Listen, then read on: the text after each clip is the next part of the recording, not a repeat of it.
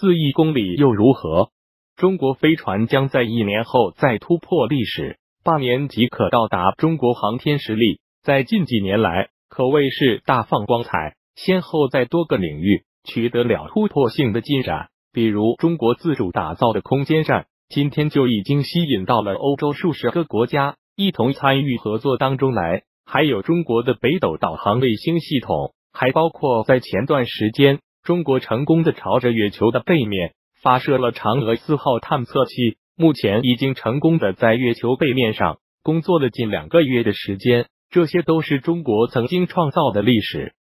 不过，有了这些成就之后，中国也并没有停下前进的脚步，而是继续朝着未知的前方努力着。比如，将宇航员送上月球。并且在月球上建立基地，还有就是同美国一样加入到探索火星的团队当中来，这将会是接下来中国要做到的最为关键性的工作，那就是中国的飞船必须要跨越四亿公里的长征路线，要确保飞船或者探测器能够到达火星身边。等充分了解火星信息之后，肯定也会想要在火星上建立基地的。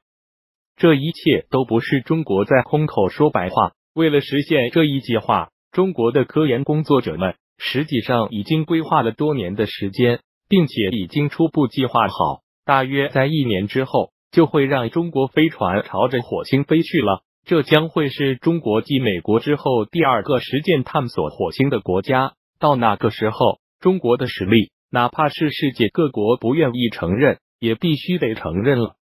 这将会是中国第一次探索火星的主要实现的工作，就是绕着火星飞行，以及落在火星的地面上，最后跟美国发射的火星探测车和探测器一样，在火星的地表上来回的巡视，以期望能够获得更多的火星消息。不过，我国这次火星飞船是要比美国发射的火星探测车的难度高很多的，因为飞船和探测器总共加起来的重量。已经超过了五吨，是目前世界上规模最大的组合体了。飞船的时速能够达到二点二万公里，预计半年的时间就可以到达到火星的身边了。接下来就拭目以待了。二零一九中国航天新征程，中国航天今年发射将再超三十次。央视网消息，来自中国航天科技集团消息，今年中国航天将在迎高密度发射。全年发射次数将超三十次，发射航天器超五十颗。在今年的航天发射任务中，嫦娥五号将实现我国首次月球采样返回，技术难度大，系统复杂，是完成探月工程绕落回的关键一步。北斗卫星导航工程将完成七件实星发射任务，为二零二零年全面完成全球组网建设奠定坚实基础。高分辨率对的观测系统要实施高分七号卫星发射任务，长征十一号海上发射和捷龙一号商业运载火箭将实现首飞，长征系列运载火箭累计发射次数将突破三百次。航天科技集团副总经理杨宝华一个视频次高，我们今年还是计划还要超过三十次宇航发射。二是长点多。我们去年主要集中在传统的三个发射场：酒泉中心、太原中心和西昌中心。今年我们还要有两次在文昌中心，还有一个海上发射。第三个特点就是依然是任务重，今年年底要实现嫦娥五号的发射。今年七月份左右，我们长征五号遥三要恢复发射，分量非常重。此外，中国航天科技活动蓝皮书也于昨天发布。对二零一八年中国航天活动进行全面盘点。根据统计，二零一八年全球航天发射次数达一百一十四次，共将四百六十一个航天器送入太空。其中，中国航天发射次数以三十九次发射的成绩居世界第一。航天科技集团副总经理杨宝华：国民经济建设和国家科技进步需求量非常大。带动了我们宇航发射频次的提升。第二，就中国的商业航天，现在就如火如荼的发展起来了。我们真正的高密度发射进入了常态化，这也是我们航天大国迈向航天强国的重要标志之一。二零一八年三十九次航天发射，中国首举世界第一超级航天的辛酸与梦想。超级航天的辛酸与梦想，持续走热的科幻大片《流浪地球》再次点燃人们对于航天的激情与梦想。一万座比珠穆朗玛峰还要高出数千米的行星发动机拔地而起，集结全球航天力量打造的成千上万枚火箭其次苍穹，以及数百艘载人飞船在国际空间站如搭积木般自由穿梭狂奔等景象，让人击节成长，连呼震撼。但科幻终究是超现实的。过去一年，全球发射的火箭加在一起不过一百一十四次。即便将时间拉回到人类航天元年一九五七年，从苏联发射世界第一颗人造卫星斯波尼克一号算起，到二零一八年年底，过去六十多年，全球实施过的航天发射也不过五千八百零一次，累计发射的航天器八千九百六十个。目前在轨运行的航天器总数两千一百九十二个，要建造比人类历史上最大火箭的推力还要高出数百万倍的行星发动机，而且是一万座。这种剧情能否在现实世界上演，短期内不得而知。可以确定的是，在并非流浪的地球上，人类已经用血与汗踏出了奔向星辰大海的航天征程。截至目前。全球已有十多个国家具备轨道发射能力，八十多个国家和地区在跟太空中的卫星打着交道。不管是已经离开历史舞台的美国阿波罗计划，还是目前仍在发射场不断挑战极限的猎鹰火箭；不管是已经实现火星探测的机遇号好奇号，还是再次实现落月的中国嫦娥玉兔，亦或是一只脚已经踏入航天强国的金牌长征火箭。都牵动亿万大众的神经。一年前的这个时候，一条中国长征火箭开启超级二零一八的新闻刷屏，其中提到二零一八年我国将执行至少三十五次发射任务，发射密度将创历史新高。不久前，航天科技集团发布的《中国航天科技活动蓝皮书》提到，一年过去，中国最终完成了三十九次发射，这比预计的多了四次。数字对于航天迷和更大范围的读者来说，可能是科学幻想、技术解读之外一个观察航天的更好视角。或许可以让这些没有门槛的数字帮我们记录下过去这一年轮番登场的航天大戏，以及成就超级航天背后的辛酸与梦想。历史性第一背后的大国航天角力，三十九次，这个数字占全球总数的三分之一。记录着中国航天二零一八年的辉煌，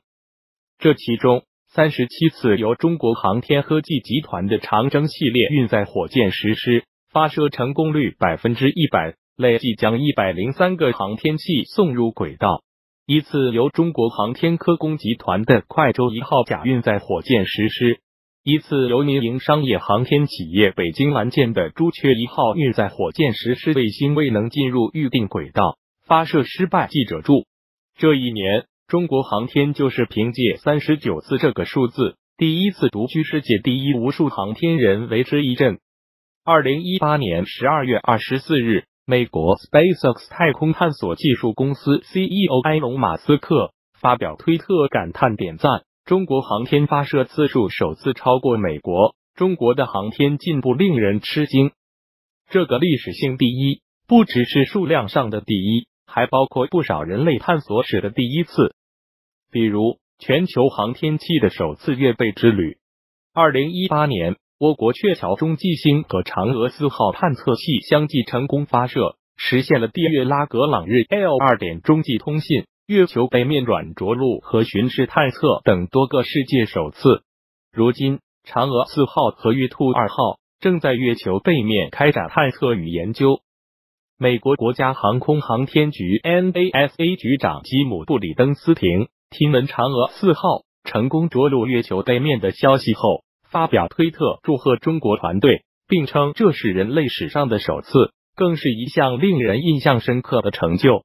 还有备受瞩目的中国速度北斗速度，过去一年十次发射十八颗北斗卫星，过去十八年发射四十三颗北斗卫星。百分之一百成功率，组网发射最短间隔十七天，创造了北斗组网发射历史上高密度、高成功率的新纪录。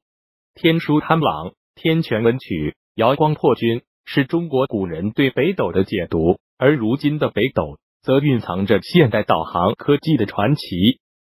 不过，横向对比来看，这个历史性第一仍值得冷静对待。第一和第二之间咬得很紧，不说中国三十九次，美国三十四次，后者仅少了五次。更值得注意的是，这一数字背后处处是看不见的硝烟。美、俄、欧竞相角力，越来越多的国家和地区将航天作为重要战略选择。过去一年，美国发布国家航天战略，提出使美国更加强大、更有竞争力、更加伟大，推动组建独立天军。欧洲则推进欧洲航天战略落地实施，英德注重航天技术发展、地理信息、量子通信、全球连接等重点方向获得关注等等。用数字来看，二零一八年全球共实施一百一十四次发射任务者，可是冷战结束后，全球年度发射次数首次突破一百次，上一次破百已是二十八年前。一百一十四次发射中。一百一十二次任务取得成功，成功率也创下近年新高。四百六十一个航天器发射升空，成功入轨的航天器数量居历史首位，可谓竞争与合作交织互动，创新与创造涌动迸发。航天器数量被大比分甩在第二。一个颇具意味的细节是，我国发射次数虽然位居第一，但发射到太空的航天器数量却只排到了第二位。根据航天器所属国家统计，全球一百一十四次发射，共将四百六十一个航天器送往太空。这其中，美国三十四次发射了二百一十一个航天器，中国三十九次发射了一百零五个航天器，包括九十五个国内航天器和十个国外航天器。前者遥遥领先，占全球半壁江山；后者则被大比分差甩在第二位。航天人有这样一句话：航天发展，动力先行。飞向太空的动力靠的就是火箭发射，但其最终目的还是将更多、更大、更重的航天器送往太空。如今的局面是发射次数多，送达数量少，在某种程度上说明我国火箭载人运货的能力距离美国等发达国家仍有一定距离。